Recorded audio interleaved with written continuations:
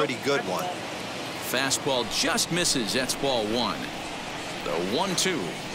And our game time temperature this evening. And swing, high drive, left field and deep. Hayes on the run for it.